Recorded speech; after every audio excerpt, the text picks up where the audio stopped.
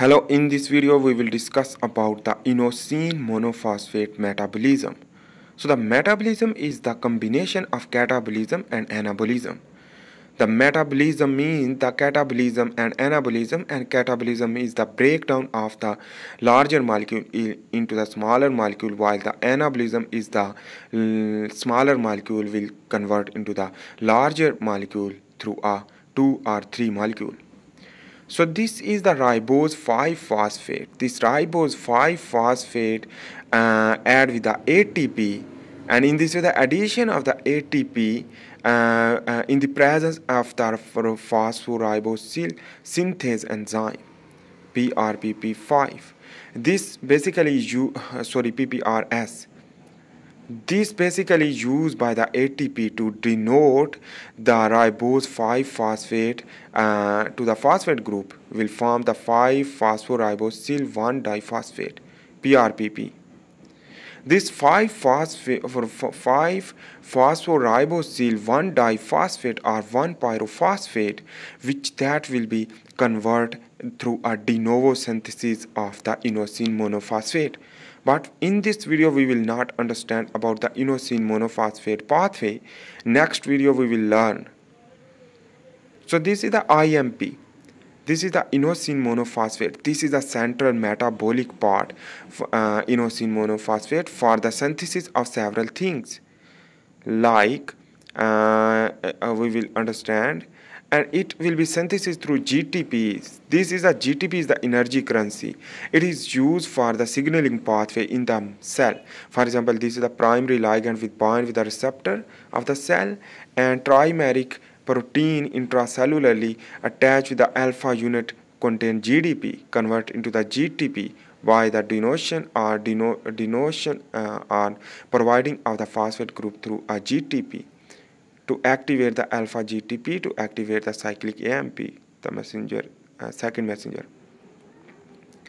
So this is the GTP will convert by a phosphatase enzyme in the presence of ADP will convert into the ATP as a storage and this GDP conversion, the guanosine diphosphate.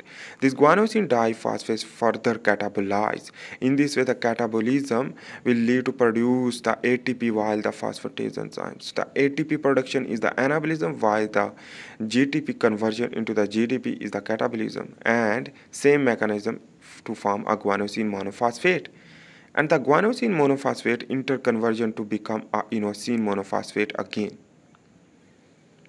Anyhow, let's begin to understand about the ATP. ATP is also the energy currency. This is the popular energy currency throughout the body, which that is function for cell division, the muscle contraction, the brain function, because the providing of the energy through mitochondria. This is the mitochondria is the powerhouse of energy will provide this ATP and glycolysis also. And the neuron uh, function, the action potential required the uh, active transport, kinetic energy, uh, like exercise or other, and thermoregulation is also involved for the product from the production of the ATP. When ATP will dissociate to produce ADP and phosphate group release, during the releasing of the phosphate group, the energy will produce, and the phosphatase enzyme will produce the ADP. ADP. Anyhow. So this ATP basically used for the several purpose. So remember that. And also the synthesis for anabolism and the catabolism. So after this releasing of the phosphate group, it will become a ADP. This ADP is the adenosine diphosphate. We will remove one phosphate further with the same mechanism to produce again energy as well as AMP. This AMP is basically is the adenosine monophosphate, the one phosphate group containing, will become a adenosine. This adenosine is further converted into the adenine. While here the interconversion through MAD enzyme will produce again the inosine monophosphate by the ATP. So remember the ATP and GTP is also used for the inosine monophosphate production by this cell. same mechanism. So this is the adenine is used for the adenosine monophosphate production as well as the uh, as well as the DNA synthesis because the adenine is the nitrogenous base and adenine also convert into the 2,8 dihydroxyadenine. While the DNA synthesis require the adenine for the uh, synthesis of the DNA during the DNA replication during the cell division. So the mitosis required and the meiosis required this adenine. So that is why the adenine synthesis as well as the energy currency will use for the DNA synthesis. On the other hand, let's begin to understand the further is the purine nucleotide cycle.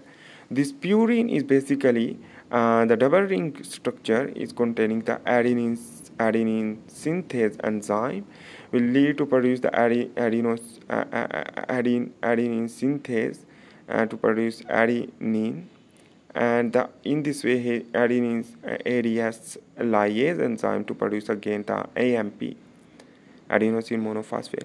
So this is the purine nucleotide cycle. Anyhow, here is the degradation will occur from the IMP, the inosine monophosphate will convert into the inosine. This inosine is also adenosine will convert this inosine and the PNP enzyme will produce the hypoxanthine. This this hypoxanthine is basically the uh, again convert into the IMP through salvage pathway through a HPRT. This HPRT used for it. So the XDH is basically is the xanthine dehydrogenase enzyme used to produce the xanthine. And this xanthine will convert into the uric acid. This uric acid excess of the uric acid uh, xanthine dehydrogenase enzyme will lead to produce the uric acid. And uric acid uh, mm, requires some but the excessive uric acid can cause the stone formation so the here is the uh, xanthine monophosphate which that will convert into the GMP again this and the guanosine which that is the PNP will use to produce the guanosine uh, guanosine from the guanine because the guanine is important for the DNA synthesis again. So that is why the DNA synthesis is important for the metabolism of inosine monophosphate via a several mechanism. So thanks for watching. Please make sure to subscribe, like and share. Bye.